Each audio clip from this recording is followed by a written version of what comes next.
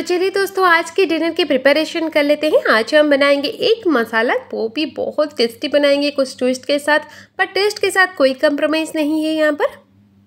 तो चलते हैं, शुरू करते हैं। मैं यहाँ पर एक पैन में ले रही हूँ थ्री एग्स आप जितना बनाना उसी हिसाब से ही आप इसमें एग डाल सकते हो। पहले हम इसे अच्छे से बॉईल करने के लिए छोड़ देते हैं। जब एक बॉईल हो जाए ना, तब हम लेंगे एक पैन पैन में डालेंगे थोड़ा सा सरसों का तेल। इसे हम अच्छे से गर्म करने के बाद मैं यहाँ पर थोड़ा सा कशी और ब्लैक रेजन को थोड़ा सा फ्राई कर रही हूँ। आप चाहे तो प्लेन वाला किशमिश भी ले सकते हो। एक में कि कभी इस तरीके से काजू और किशमिश डालकर तो देखिए, बहुत ही ज़्यादा टेस्टी लगता है। इसे हम थोड़ी देर भुनने के बाद जब ये अच्छे से ब्राउन हो जाए ना, इसे हम प्लेट में निकाल कर रख लेते हैं। उसी तेल में ही हम डालेंगे एक आलू को छोटे छोटे पीसेस में कट करके, जो हमने एक बॉईल करके रखे थे। बॉयल्ड एग को इसमें डाल देते हैं। थोड़ा सा भुनेंगे, उसके बाद इसमें डालेंगे थोड़ा सा ही नमक। ऐसा करने से इसमें थोड़ा सा फ्लेवर ऐड हो जाता है। बहुत ही ज़्यादा टेस्टी लगता है भी। अब हम इसमें डालते हैं थोड़ा सा हल्दी। ध्यान रखना, हल्दी आप लास्ट में डालना, नहीं तो हल्दी जल सकता है। और लो फ्लेम पे ही इसे आप कुक करना। और उसके बाद अब हम डालेंगे इसमें थोड़ा सा और सरसों का तेल। इसे अच्छे से गर्म होने के लिए छोड़ देते हैं। उसके बाद हम सारे गरम मसालों को ऐड करेंगे। गरम मसाला में मैं यहाँ पर तेज़पत्ता, दालचीनी, लौंग, छोटी इलायची, बड़ी इलायची ले रही हूँ। तीस सेकेंड के लिए लो फ्लेम पे इसे थोड़ा सा भून लेते हैं। इसका एक अच्छा सा खुशबू आने तक। इसमें से एक अच्छा सा प्यारा सा खुशबू आ जाए ना, उसके बाद इसमें डालेंगे एक मीडियम साइज़ प्याज को हमने चॉप करके यहाँ पर डाल रहे हैं।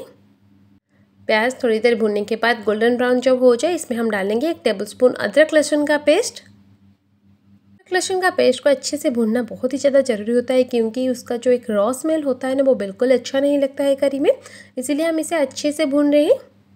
पाँच मिनट के बाद हम क्या करेंगे ना इसमें डालेंगे एक मीडियम साइज़ टमाटर को चॉप करके इसमें ऐड कर लेते हैं।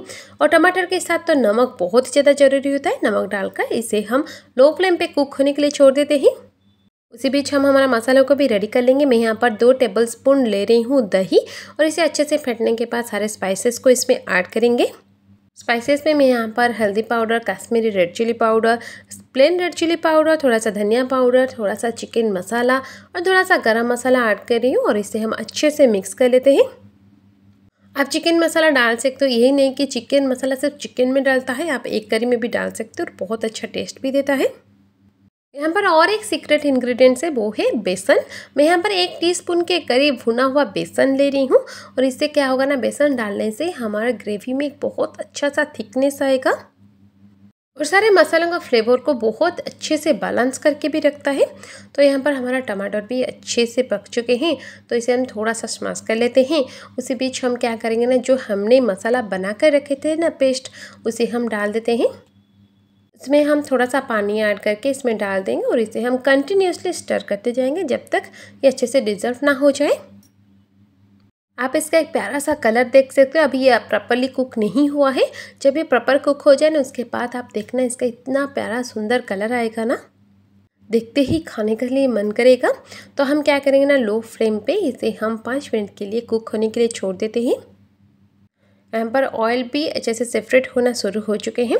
तो अब हम क्या करेंगे? जो हमने पटाटो को फ्राई करके रखे थे, उसी पटाटो को हम इसमें ऐड करेंगे। क्योंकि पटाटो कच्चा था, इसे पकने में थोड़ा सा टाइम लगता है, इसलिए मैं पहले से ही पटाटो को ऐड करी हूँ मसालों के साथ और इसे हम कवर करके कुक होने के लिए छोड़ देते हैं। पाँच मिनट के लिए लो फ्लेम पे ही हम इसे कुक करेंगे, उसके बाद इसे फिर से स्टर कर देंगे। आपको नॉनवेज में क्या खाना पसंद है, मुझे ज़रूर बताना दोस्तों, क्या आपको भी एक खाना पसंद है? अगर आपको भी पसंद है ना एक खाना, कभी इस तरीके से एक बनाकर तो देखिए इसका टेस्ट आपको बहुत पसंद आएगा। जब मसालों से ऑयल सेपरेट होना शुरू हो जाए ना, तब हम इसमें ऐड करेंगे एक और किशमिश काजू जो हमने फ्राई करके रखे थे। इसे ऐड करने के बाद इसे हम अच्छे से मिक्स कर लेते हैं और इसमें हम थोड़ा सा ही पानी और ऐड करेंगे और इस सारे मसालों को एक के साथ प्रॉपरली कुक होने के लिए कवर करके छोड़ देंगे।